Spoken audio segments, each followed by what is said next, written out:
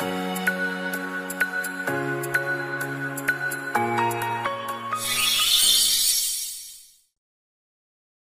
んにちは、レトスノーノです。5月5日の3問に入る前にアドバイスをさせていただきます。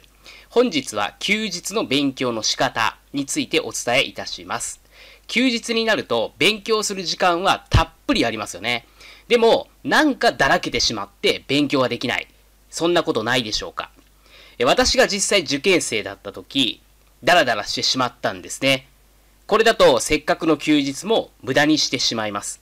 そうならないための方法を今回お伝えいたします。この、え、休日の勉強の仕方の動画については、この動画の最後にお知らせいたします。それでは3問に入ります。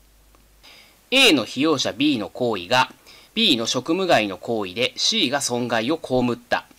C は職務外であることを知らず、そのことに関して重過失があった場合、C は A に対して使用者責任を追及することができない。丸か×かという問題です。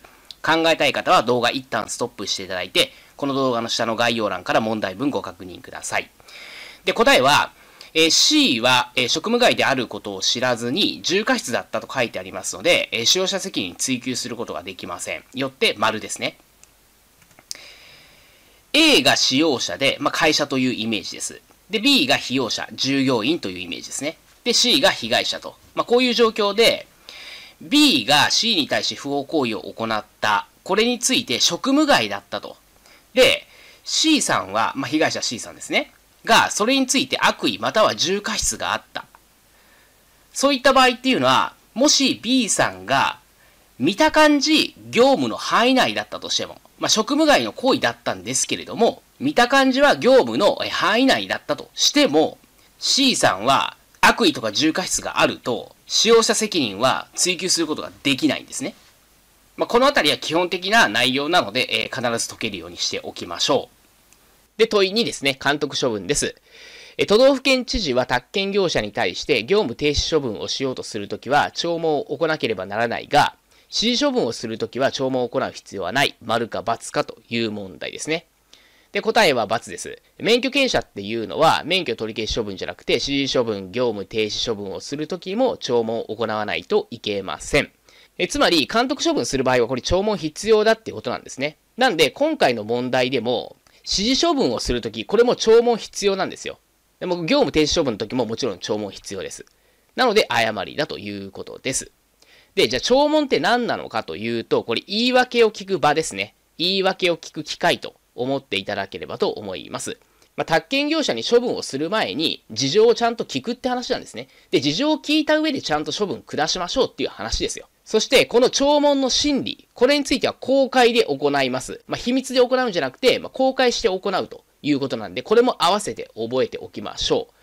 で、審理って何かっていうと、まあ、役所の担当者が処分を受ける者から意見を聞くってことなんですね。その聞くことを真理って言います。まあ、このように重要ポイントをちゃんと合わせてね、覚えていくことで記憶力が大きく高まります。そのため覚えることが多い宅建でも、まあ、十分覚えることができるようになるんですね。この重要ポイントを合わせて覚えていく。これが効率的な勉強法の一つなんで、ぜひ実践していきましょう。では問い3です。土地の占有者、または所有者は、都道府県知事が委任した者が、宅地造成等工事規制区域の指定のために、当該土地に立ち入って測量、または調査を行う場合、正当な理由がない限り、立ち入りを拒み、または妨げてはならない、丸か×かという問題です。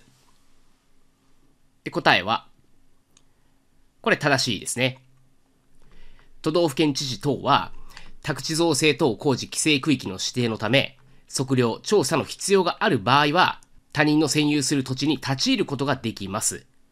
これは災害の可能性があるかどうかを調査するわけなので、もちろん役所の人は入ることはできます。ただ、立ち入ろうとする日の3日前までに、その旨を土地の占有者に通知しなければならないんですね。そして土地の占有者、または所有者は、正当な理由がない限り、この立ち入りを拒んだり、妨げてはいけません。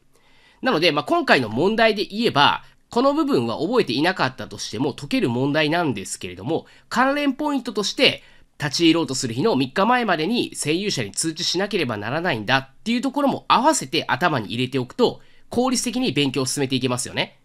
単に問題に対する答えだけ覚えるんじゃなくて、その周辺知識も一緒に頭に入れていく。